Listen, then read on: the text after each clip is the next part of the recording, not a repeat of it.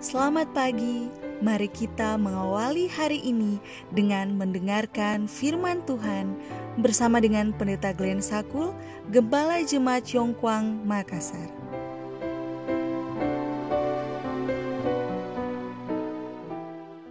Shalom, selamat pagi. Mari kita berdoa untuk meminta hikmat dari Roh Kudus Tuhan. Ya Allah kami yang di sorga, ketika kami mendengarkan firman-Mu di pagi ini, kiranya roh kudus Tuhan memberikan kami hikmat dan kuasa. Di dalam nama Yesus kami berdoa. Amin. Renungan pagi 28 Februari 2021 dengan judul Kita tidak akan mengingini. Ayat inti, jangan mengingini rumah sesamamu, jangan mengingini istrinya atau hambanya laki-laki atau hambanya perempuan atau lembunya atau keledainya atau apa pun yang dipunyai sesamamu. Keluaran 20 ayat 17. Keterangan, hukum yang terakhir mencelah keinginan, segala keinginan yang bersifat mementingkan diri, setiap kadar perasaan tidak puas, tiap-tiap perbuatan hendak beroleh keuntungan yang berlebihan, setiap usaha memuaskan hati dengan mementingkan diri yang bekerja untuk menguatkan dan memperkembangkan tabiat yang akan menghancurkan keserupaan dengan Kristus dalam manusia dan menutup pintu gerbang kasih Allah terhadap manusia. Apabila malaikat-malaikat datang hendak melayani orang-orang yang akan menjadi ahli waris keselamatan dan menyaksikan pertunjukan kekikiran pertunjukan keinginan menjadi keuntungan yang berlebih-lebihan dan mencari keuntungan sendiri atas kerugian orang lain, malaikat-malaikat itu pergi dengan duka cita.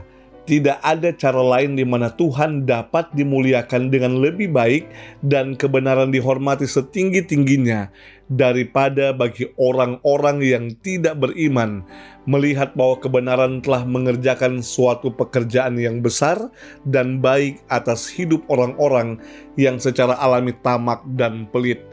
Kalau sekiranya dapat dilihat bahwa iman orang-orang yang begitu mempunyai suatu pengaruh yang membentuk tabiat mereka, mengubahkan mereka dari orang-orang yang sangat kikir, mementingkan diri sendiri, suka mencari laba yang berlebih-lebihan, dan menggemari uang, menjadi orang-orang yang suka berbuat baik yang mencari kesempatan-kesempatan untuk menggunakan kekayaannya dalam usaha memberkati orang-orang yang perlu diberkati, yang melawat perempuan-perempuan, janda, dan anak yatim piatu dalam kesengsaraannya, dan yang menjaga dirinya suci dari dunia ini.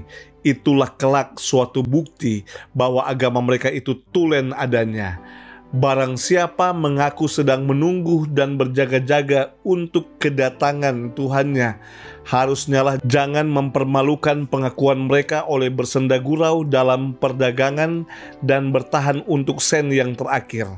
Buah yang demikian tidak bertumbuh atas pohon umat Kristen.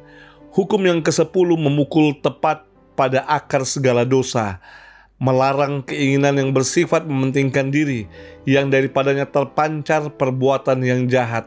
Orang yang di dalam penurutan kepada hukum Allah menahan diri dari menuruti keinginan bahkan keinginan jahat terhadap kepunyaan orang lain tidak akan bersalah tentang suatu perbuatan yang salah terhadap sesamanya.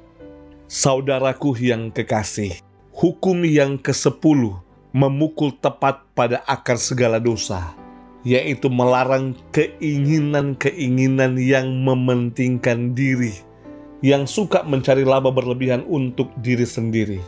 Marilah kita menyerahkan hidup kita kepada Tuhan dengan tidak mementingkan diri dan tidak memenuhi keinginan-keinginan kita.